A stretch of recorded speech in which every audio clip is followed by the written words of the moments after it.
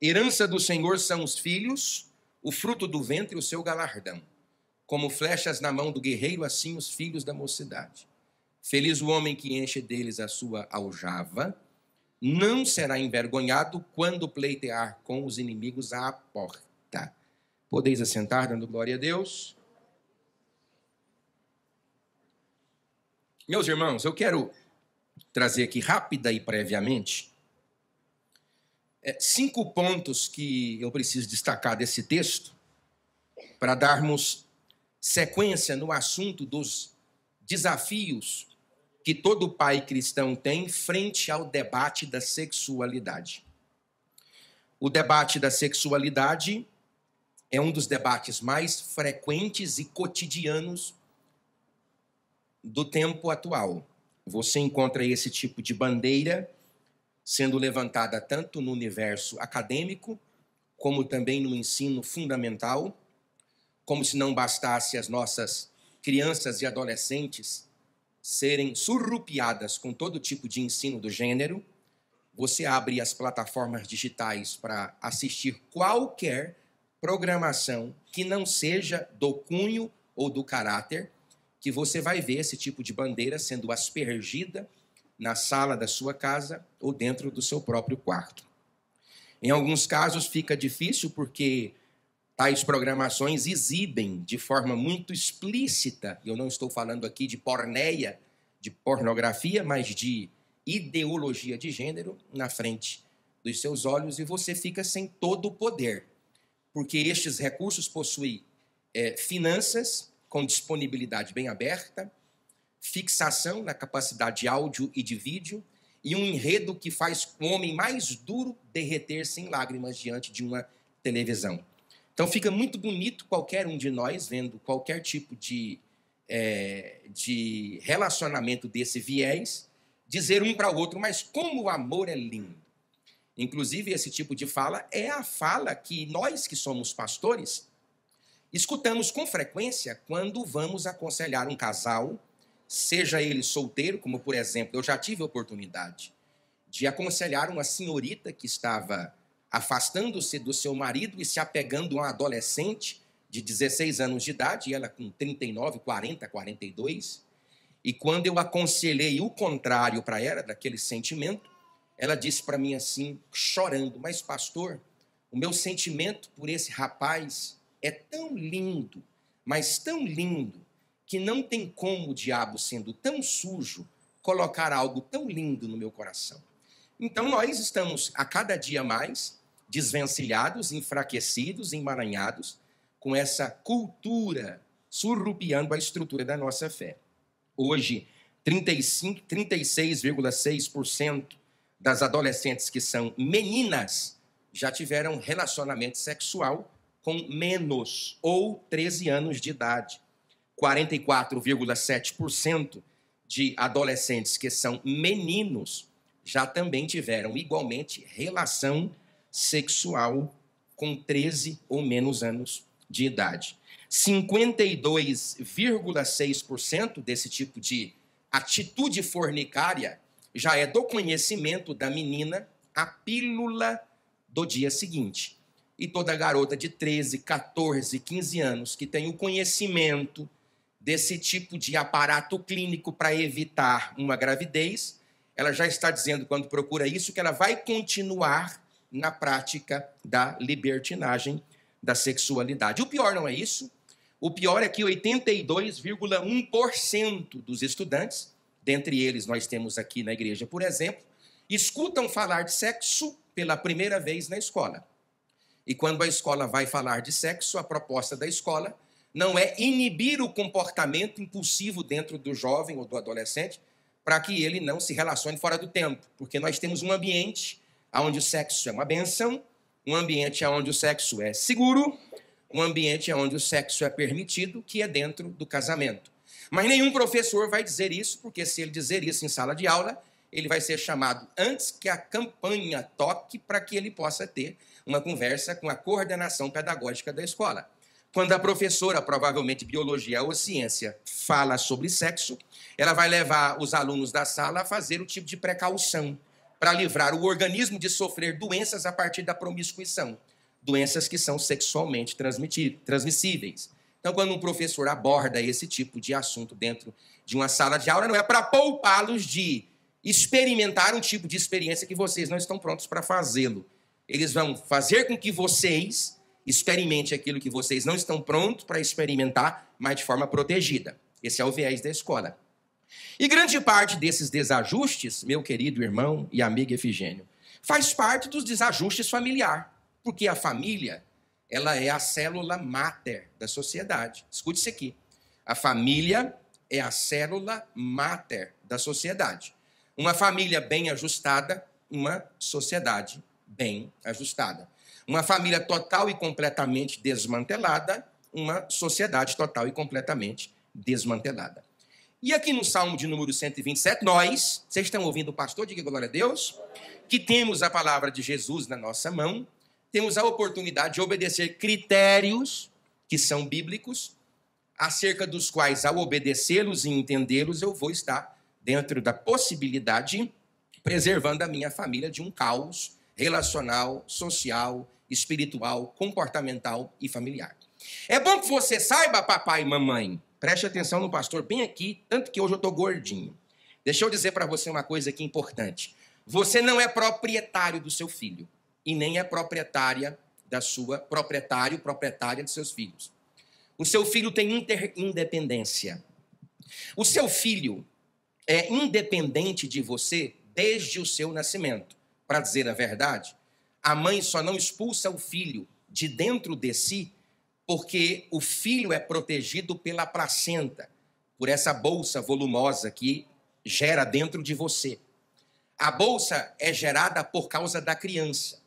A bolsa não é gerada pela mãe por causa da mãe. A bolsa é gerada pelo organismo por causa da criança. Se não for aquela bolsa gigantesca, o seu corpo expulsa o seu filho como se ele fosse um câncer, um tumor. Então, você não se sinta recriminado ou culpado, porque você serviu ao Senhor com honestidade, com alegria, e trouxe os seus filhos à casa do Senhor com honestidade, com alegria. E quando deram na cabeça dessas crianças, eles decidiram é, trilhar o caminho por conta própria. Faz parte da personalidade da criança, faz parte da personalidade da criança e faz parte da individualidade da criança. A criança precisa, desde cedo, aprender a lidar com as decisões e, consequentemente, eu quero ser redundante com as consequências. Então, se você tem um filho ou uma filha que não serve ao Senhor honestamente, ore a Deus, aguarde no Senhor, porque eu tenho certeza absoluta que chegará o tempo que o seu filho vai estar aqui de mãozinhas erguidas, dando glória ao nome do Senhor. Mas aqui nesse texto, eu tenho algumas verdades que eu quero falar para vocês. A primeira é que o seu filho é uma herança de Deus. A segunda é que o seu filho é uma conquista. A terceira é que o seu filho é uma arma de longa distância. Que o seu filho é um propósito. E que o seu filho é o fortalecimento da sua família e, consequentemente, da sua casa. A primeira frase aí desse versículo é: herança do Senhor são os filhos, o fruto do ventre, o seu galardão. Então você tem aqui um elo sinonímico. Há duas expressões que são praticamente correlatas, e nós temos aqui mais um salmo que faz uso de símiles, que são instrumentos de comparação para suprir a incapacidade que o vernáculo hebraico tem de descrever sentimentos e propósitos por meio de palavras. Então você precisa se atentar aqui para duas coisas. Primeiro, a palavra herança. Segundo, a palavra galardão. Uma coisa, Patrícia, é a palavra herança, porque herança é aquilo que eu recebo por mérito, recebo por causa que eu tenho um pai, alguém que deixa para mim um legado, uma conquista, um presente. Mas a expressão galardão não. A expressão galardão reflete o resultado de um determinado trabalho. Explico para vocês. A expressão galardão, ela é cognominada no grego de forma a ser bem mais inteligível e compreensível do que no hebraico.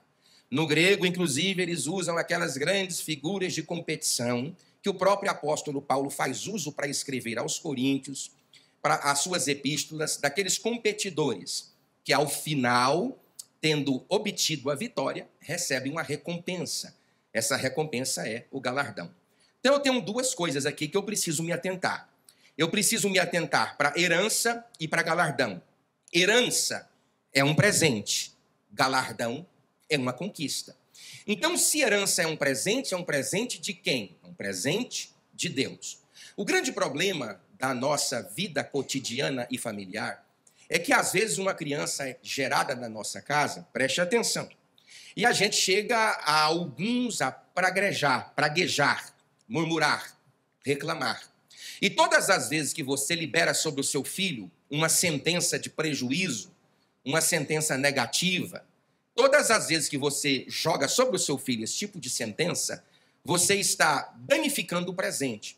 Porque o meu e o teu filho são presentes de Deus. Deus nos deu. Então eu tenho que olhar para meu filho e entendê-lo como uma dádiva de Deus em favor de minha casa. Essa é a primeira análise. A segunda, o meu filho é o fruto do ventre, é o meu galardão. É o galardão da mãe, é o galardão do pai. É aquilo que eu recebo por algo que eu realizei. Então eu cumpro o mandamento de Deus de crescer, de frutificar e de multiplicar. E como resposta a esse cumprimento, Deus dá à minha família um galardão.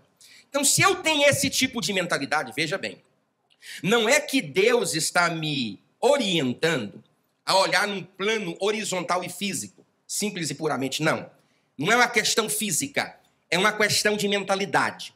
Você olha para uma criança que é sua, o bicho velho é ruim, que só pau de dar em doido. Às vezes a mulher, a moça, é mal educada.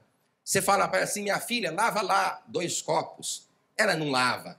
Você fala para o menino, vai lá lavar o carro do pai, vai lá é, passear com o cachorro, carrega essa cadeira daqui e ele te responde, ele te maltrata. Então, toda hora que ele faz isso contigo, dá vontade até de você dar uma, uma palavrinha de maldição. Mas quando isso aqui é implantado na nossa cabeça, as coisas mudam. Não mudam as coisas por causa do que a criança faz. Não muda as coisas por causa do que a criança é. Não é sobre quem é a criança nem como é a criança, nem o que faz a criança. É sobre o que eu sou diante da criança.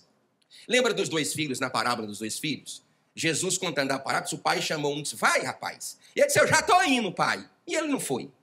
Aí ele chamou o outro e falou assim, vai rapaz. Eu não, pai. Eu quero saber trabalhar nada. E o que disse não foi, e o que disse sim, não foi. Aí eu te pergunto, qual dos dois filhos é mais filho? O filho que disse não e foi, ou o filho que disse sim e não foi? Os dois filhos são filhos. Porque não depende do que o filho faz, depende do que o pai é. Oh, glória! Não é sobre o que o filho está fazendo, é sobre o que, pai, o, que o pai é. Então você sai daqui, vai-te embora para tua casa hoje, e lá vai com essa na tua cabeça. Você precisa ser benção para o seu filho. Você pode dizer amém? Segunda coisa, o seu filho faz parte de um. O seu filho é uma arma de longa distância. Veja o que está colocando aqui, ó, como flechas. Eu nem vou colocar na mão do guerreiro agora, porque eu tenho outra inferência. Como flecha. O que é uma flecha? Flecha é um projétil de longa distância. Agora, sabe o que é interessante? Ela só cumpre o seu objetivo, a flecha, se ela for arremessada. Quem corta é a flecha, mas quem provoca a ação é o arremessador. Flecha na aljava é flecha. Flecha na mão do guerreiro é um projétil perigosíssimo que vai cumprir um alvo específico. A flecha é inanimada. O guerreiro, não. A flecha não tem vida própria. Ela cumpre o seu propósito se ela estiver desempenhando a sua função. Ela será flecha se ela cumprir o papel de flecha. Mas não é a flecha que determina o cumprimento do seu papel. Não. É responsabilidade do arqueiro. Então, numa primeira instância, o seu filho é uma flecha. Mas ele só será uma flecha cumprindo seu objetivo se ele estiver no lugar certo. Quanto mais você apertar o arco, agora o arco tem que, o arco tem que sustentar. Quanto mais você alçar, mais distante você projeta. Então não pensa que o seu filho de 12, de 13, de 14 anos vai viver do jeito que ele quer. Tu é uma mãe, tu é um pai, teu filho entra para dentro do quarto, ele tem 12 anos. Aí ele pega o teu celular, porque tu não tem celular. Tu não tem celular, tu não tem internet da sua casa, tu não tem nem energia da sua casa. Vossas excelências usam as, vossas, as lâmpadas de vossa casa por misericórdia dos vossos filhos, dessas donzelas, desses mancebos eternos que tem dentro da nossa casa. Que você fala para ele assim, vai lavar uma, um, um, um, uma vasilha, rapaz. Vou nada. Vai lá comprar um quilo de sal, porque acabou o sal. Pra pôr. Não, manda fulano. É desse tipo de gente que tem lá na igreja dos outros. Vamos supor que aqui não tem nenhum desse. Aí tu pega o seu celular, que era seu, agora é dele. A sua internet, que talvez você use, porque ele já acabou com todos os seus. Aí ele tranca dentro do quarto. Ele é uma flecha dentro da aljava, inanimado. Ele não tem vida própria. Ele não tem destino próprio. Aí ele vai para a escola. Você está ouvindo eu falar, irmão? Diga amém. Aí ele chega da escola, o caderno dele. Você nunca abriu o caderno dele. Tem deles que não tem nem nome no caderno. Ele pode usar o caderno da oitava no nono. Ele pode usar o caderno do nono no primeiro, no segundo e no terceiro, que é zerado, é intacto. E o pai e a mãe, que é um arqueiro, nunca colocou essa flecha para dizer assim: meu filho vai atingir aquele alvo. Fato. Meu filho vai. Irmão, olha para cá. Significa que você vai acertar todo o alvo? Não, não. Não, absolutamente não. Você não vai acertar. Agora, o fato de você não, não acertar o alvo que você diagnostica, localiza e projeta para o seu filho, significa que você vai parar de tentar? Significa que você vai entregar seu filho à própria sorte? Seu filho é uma grande arma, mas ele só cumpre esse papel na mão do guerreiro. Por isso que tem a terceira característica aqui, ó. O seu filho é um propósito. Repita comigo: o meu filho é um propósito três. Um, dois, três. De novo, um, dois, três. Qual é o propósito? Na mão do guerreiro. Quem é o guerreiro da casa aqui do Anderson? É o irmão Zé Valdice. Quem é o guerreiro aqui na casa desse rapaz aqui? É o Turmei. É o nome sério? Quem é? é? A Ana Paula e o Henrique. Então, flecha não tem vida própria. Flecha, pastor, eu quero ser o arqueiro. Para tu ser o arqueiro, não é só gerar uma outra criança.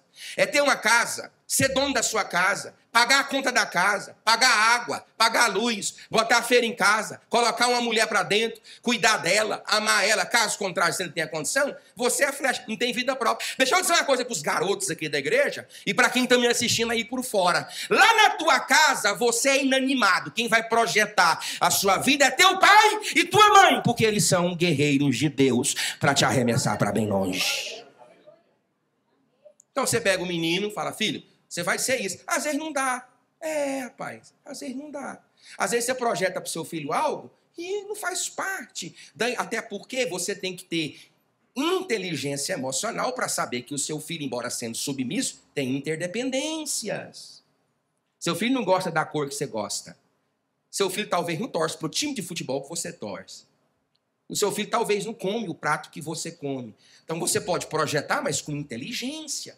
Porque talvez na ânsia de tentar projetar para o seu filho aquilo que ele não vai conseguir atingir, porque a perspectiva de vida dele está para além ou não da sua imaginação, você não vai desistir na primeira, não, não deu certo, não. Tentou, filho, deu certo, não. Vamos tentar aqui. Sabe o que isso aqui é? Pai é orientador, pai é pedagogo, pai orienta. Tem filho que não obedece, eu lamento muito. Deixa eu dizer para você aqui, filho. Olha bem aqui para o pastor, vocês. Vocês vão colher cada semente que vocês lançam sobre os vossos pais amanhã.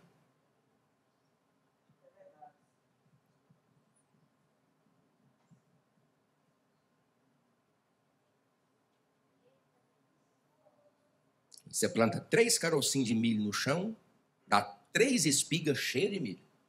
Repita comigo: a colheita sempre será maior do que a semeadura. Aí fica a pergunta: o que, você está semeando? Você não define, você define o que você colhe quando você semeia. Está ouvindo, irmão? Diga amém. Quarto lugar para terminar essa parte. Feliz é o homem que enche dele a sua aljava. O meu filho, em quarto lugar, é motivo de minha alegria. Ô, oh, glória, diga graças a Deus, irmão. O bichinho é ruim às vezes, sabe? A menina é ruim. É porque tem filho assim. Sim, tem filho assim. Você vai lá na parábola, por exemplo, do filho pródigo, você tem filho pródigo. O que está perdido longe de casa e o que está perdido dentro de casa. Porque ali os dois estão perdidos. Tem um que se perde para lá e tem um que está perdido aqui. Então tem filho que é trabalhoso. Mas o que, é que você tem que entender? A, a, na verdade, a perspectiva do salmista é fazer uma. Hum, no pai. É o pai olhar para o filho e ver que o bicho dá trabalho, o bichinho é ruim, a mulher dá trabalho, a moça é ruim. Porque tem gente índole ruim. Tem. Tem filho que tem maldades internas, que você olha para ele assim, não sei de onde saiu. Eu, eu sei, de ti. E de mim também. É, de nós. É.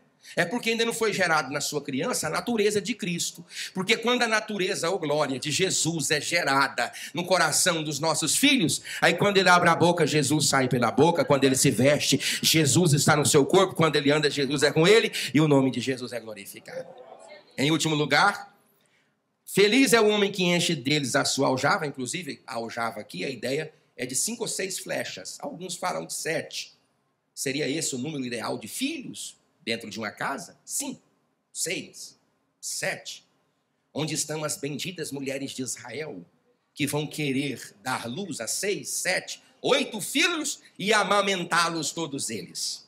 Hum, essa contemporaneidade estética que nós estamos inventando. Mas aqui diz aqui, ó, por que, que ele é feliz? Porque a casa ganha força. E é interessante que o filho é um investimento com o pai. Eles estão falando que um filho até o 18º ano de vida, um filho de uma família comum, vai custar aí para a família em torno de 500 mil reais. Para uma família de classe média alta, vai custar em torno de um milhão de reais ao longo dos seus anos. Sim, filho custa caro, custa investimento. Agora, se eu dizer para você que é filho, o preço mais alto que o seu pai e a sua mãe paga por vocês é o psicológico. É o desgaste emocional que os filhos causam nos pais e às vezes nem sabem o que estão fazendo. Com as escolhas, com as amizades. Mas dito isso, estas cinco coisas, aí nós que somos pais de crianças que são cristãs, nós temos um desafio. Como educar os nossos filhos frente aos desafios da vida contemporânea e aos debates da sexualidade. E eu pontuei aqui algumas coisas que eu quero caminhar com vocês nesse princípio e esclarecer aqui algumas dúvidas. A primeira delas é que existe sim, de fato, um duelo, preste atenção, entre os pais e os colegas de sala de aula, entre os pais e os colegas de diversão. Sim, existe. Porque nessa vida aqui, vocês que são jovens, preste atenção aqui no pastor. Só tem dois caminhos para vocês, só dois. Só dois. Quantos irmãos? Quantos? Ou vocês influenciam, ou vocês são influenciados. Vocês lembram da escola, da, da, da escola babilônica que Daniel se matriculou em 605 a.C., quando Nabucodonosor levou cativo os jovens extraordinários de Israel e de todas as nações que estavam debaixo do poder da Babilônia. 70, olha para mim, vocês todos aqui. 70 anos depois, os medos e os persas conquistaram. E no livro de Esther, nós temos um número de províncias que estava debaixo da tutela administrativa e governamental, pastor Luiz, dos medos e dos persas. 127 províncias. A julgar o fato de que Israel é uma das menores províncias que foram conquistadas 70 anos antes por Nabucodonosor e Nabucodonosor, e de Israel foi levado quatro, então você multiplica pelo menos quatro vezes 127. Então, Daniel, Misael, Ananias e Azarias estão numa sala de aula, num reduto, num lugar, num ambiente, com mais de 500 jovens profanos que adoram deuses, que se sensualizam, que se sexualizam, que celebram todo tipo de orgia sexual, de bebedeira e de comelança, fanfarra e festa, mas diz a Bíblia que Daniel e seus amigos resolveram. Vocês aqui todos sentem vontade de fazer o que é errado. Todos. Todos vocês aqui sentem vontade de fazer o que não presta. Porque a vontade ela é feita para isso mesmo, para liberar endorfina, dopamina, hormônios do prazer no corpo do indivíduo. Então, sexo fora do casamento libera? Libera, eu quero. A comida promíscua e pagã libera? Libera, sim, senhor. Então, eu quero. A pornografia libera? Sim. Libera e eu quero. Inclusive, a pornografia libera sensações no corpo que se assemelham às sensações da cocaína. Inclusive, o campo neural aonde esse tipo de conteúdo privado da internet atua é na mesma região aonde se atua a cocaína. Muda a personalidade, traz diversos problemas para o organismo que eu não vou abordar aqui agora. Libera, pastor. Libera, então eu quero. Sair com duas, com três, com quatro moças, libera, libera, pastor. Libera muita coisa boa para o corpo, mas eu quero. Não é sobre o que vocês querem, santidade. É sobre o que vocês precisam fazer. Santidade é uma questão de decisão. Isso aqui não é sobre o que eu estou sentindo de fazer. É sobre o que eu preciso fazer. Pastor, eu estou sentindo que eu preciso me reconciliar com Deus. Você não sentirá estas coisas. Provavelmente você não sentirá estas coisas. Deus pode até te chamar, mas não é sobre o que você sente. É sobre a decisão de servir a Deus. Eu decido me permitir ser invadido pelo Senhor. Então Daniel, Misael, Ananias e Azarias, eles decidiram não pecar. Então lá na sala de aula que vocês não tem 500 pessoas lá não. Tem três, tem cinco, tem seis que vão fazer com vocês algo e vocês só têm dois destinos. Ou vocês influenciam, ou vocês são influenciados. E é interessante que jovens, vocês, jovens, às vezes são tão estupidificantes que vocês não querem a influência dos pais. Do pai? Não. Da mãe? Também não. Aí da igreja? Também não. Vocês são influenciados pelas pessoas lá de fora. Porque vocês não têm poder espiritual em vocês, e nem musculatura espiritual para dizer quem vai determinar sou eu. Quem vai decidir onde eu vou pôr o pé sou eu, não. Aí vocês são aquilo que vocês escutam lá. Maria vai com as outras. É assim, na escola é assim, eu vou falar. E aí cê, tá todo mundo fazendo o que é errado, aí vocês estão fazendo o que é errado. Tá todo mundo caminhando num caminho que não vai dar certo, aí vocês estão caminhando no caminho. Para quê? Para ser aplaudido pela maioria para chegar. E eu tenho certeza, porque que você não é aquele tipo de aluno, de aluna, que chega na escola desmantela a roupa. E tem uns assim, tem. Ele chega na escola, ele despede do pai e da mãe, ele vai até quietinho. Chega lá, ele desce a calça lá pro rumo do joelho. Aí ele solta a camisa, despenteia o cabelo, bota um boné para trás, espendura tudo que é tipo de coisa na cara. É para dizer que é o gostosão, para dizer que é a gostosona, para dizer que é o apavorador da escola. Tu tá apavorado, arrebentado, arrombado, rapaz. Então, o pai tem que estar lutando toda hora, meu irmão. Você está ouvindo o que eu estou falando, irmão? Diga amém. Eu vou falar! Tem que estar lutando toda hora, porque ele escuta lá um, um, conselho de um amiguinho de escola, aí ele quer ser, sabe, o entrosado. E o pai com dificuldade de lidar com a rebeldia, com a dissimulação, com a hipocrisia, com a falsidade, com, a, com banditismo. É. Pastor na igreja, sim. Um jovenzinho bandidinho. É. Você vai olhar as fotos dele, ele tá perigoso. Parece o traficante da Rocinha com a K50, a K60, a K70 na mão, você besteira! Eu vou falar, tô nem aí não. Por que, que os pais têm menos poder do que um amigo? Primeiro, porque os amigos dos seus filhos, vocês estão ouvindo, irmão? Diga amém. Eles são mais contextualizados do que vocês. Nós, pais, somos atrasados, retrógrados antiquados, enjoados, horripilantes. Nós fedemos. A sensação que o nosso filho tem às vezes da gente, quando a gente se aproxima dele de forma corretiva, é a sensação que um filhote de urubu tem quando você, homem, chega perto dele. Vocês já chegaram perto de urubu, filhote? Quem já chegou aqui? Diga amém. Ninguém. Eu já morei na capital nacional do urubu. Quando você chega perto de um urubu, ele vomita. É, porque para o urubu, Olha se não tá certinho. O nojenta é você. É. Aí a ciência já deu outra, outra, outra solução para isso, mas eu tô nem aí, eu vou usar essa mesmo. É, para ele, para ele é, aí o, é assim. Aí o que é que tu és, jovem? Um urubu. É. Aí o pai fala contigo assim, não é, meu pai não quer nem saber. É urubu, tu é urubuzinho. É. Eu tô falando aqui, irmão, na internet aqui, mas aqui não tem urubu não, irmão. Aqui só tem águia de Deus. Diga glória a Deus, igreja. É, tem urubu aqui na igreja, não. É só, eu só tô falando assim, pode vocês pensar aí. Eu não vou maltratar, né, irmão? O povo daí. Eu tô falando pras cadeiras aqui, as cadeiras. Os urubu não aceita o conselho, vomita!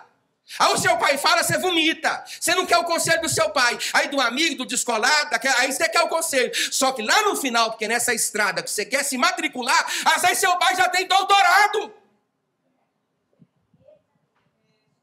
E eu posso falar, irmão? Diga amém. A pessoa tola, ela cai, ela se levanta, cai no mesmo buraco. Pessoa inteligente, ela cai. Ela se levanta, vê o buraco, desvia. Pessoas extraordinárias não caem. Por quê, pastor? Porque ela aprende com a queda dos outros. Aí você está lá na escola, você está vendo o rapazinho que usa droga. Você está ouvindo, irmão, direitinho? Diga amém. Você está vendo a mocinha, chegou lá, a barriguinha está crescendo.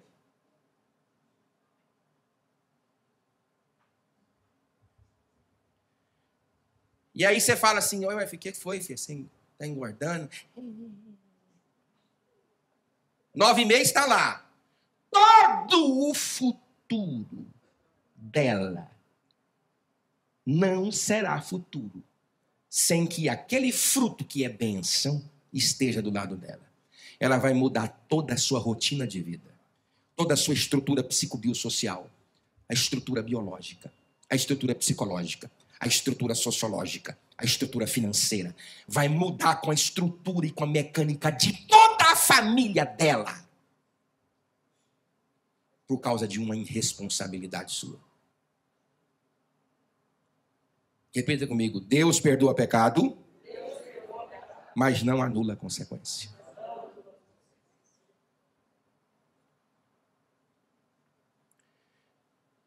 Segundo, os amigos estimulam o atrito familiar. Por quê? Porque os amigos sempre vão aconselhar você a desrespeitar seu pai. E o pai, a gente tem que falar, quanto mais segura, mais escapa. Rapaz, como é que pode, rapaz? Quanto mais se aperta, mais escapa. Isso é eu, é qualquer pai aqui. Quanto mais você. Até porque. Você está ouvindo, irmão? Fala, diga glória a Deus.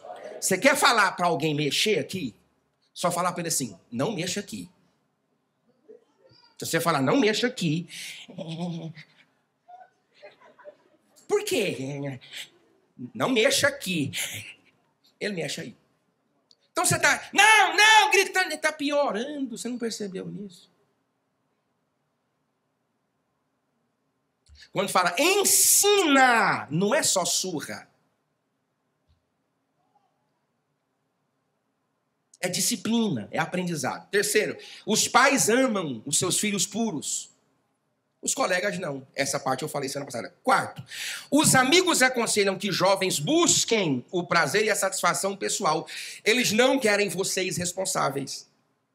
Tanto é fato que eu dei para você aqui um dado de 52,6% de jovens e adolescentes com 13 anos de idade que já têm a informação da pílula do dia seguinte, para que eles possam se exibir em sua sensualidade e não pagar o preço pela incompetência.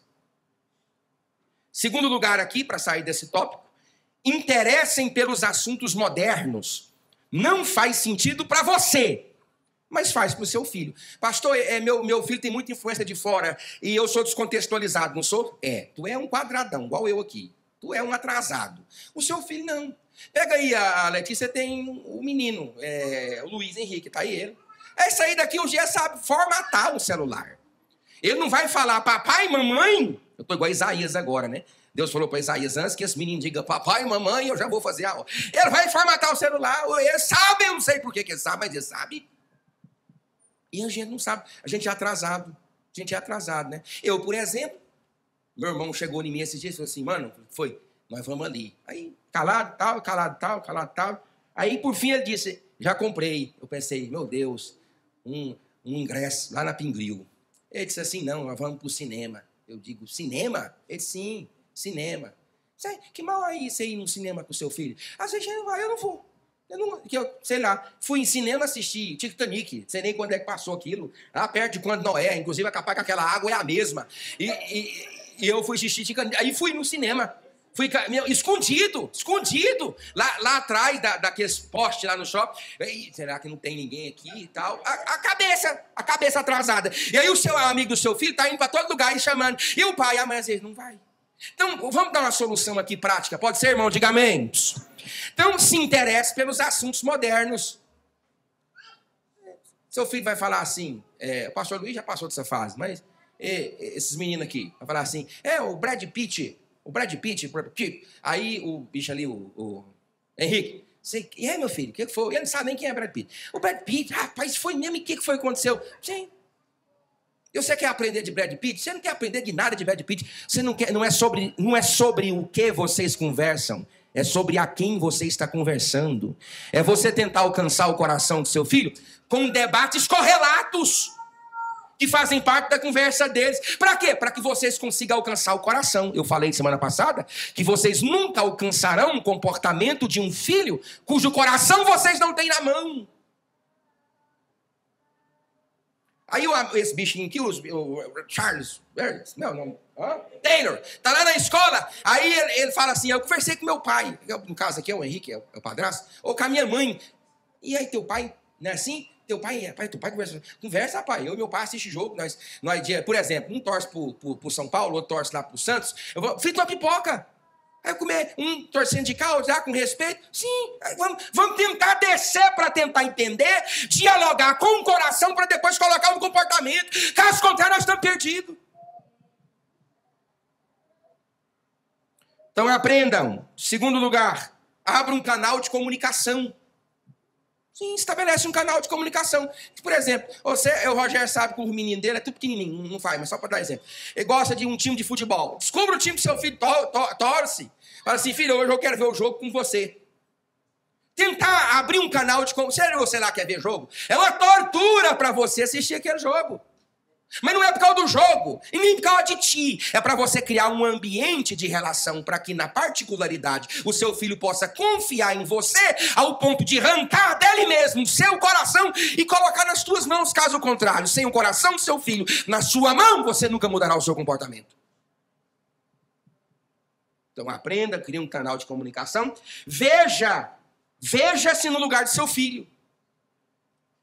Tenta fazer com que Tente se enxergar no lugar dele, porque uma coisa eu tenho certeza, meu querido, ele nunca se enxergará no seu lugar.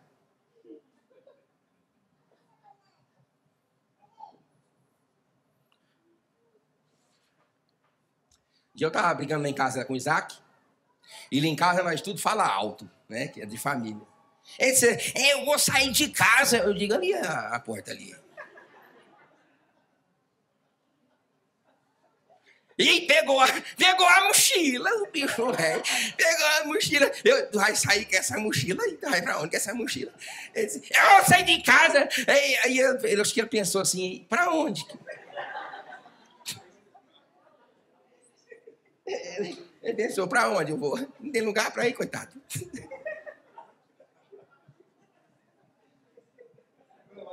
É, desse jeito. Então, seu filho não vai se pôr no seu lugar. Mas você que é maduro, você pode se pôr no lugar do seu filho. Não significa concordar com seu filho, você não pode fazer isso. Mas você não pode mudar o comportamento de uma pessoa cujo coração dela não está nas tuas mãos. Por que, que a sua filha é tão estupidificada? Eu tô, olha, eu estou te xingando de forma bonita. A sua madame. Que ela confia segredos mais profundos da alma dela, uma pessoa que ela nem conhece uma colega de sala de aula, mas não confia o segredo da própria existência na mãe e no pai. Porque nós estamos há muito tempo, pastor Luiz, tentando ganhar comportamento sem ter ganho o coração. Isso não é vocês, não. Eu digo ao José, não recrimineis pelo caminho. Sou eu também.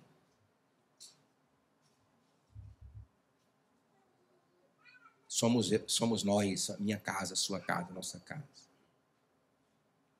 Amém, meus irmãos?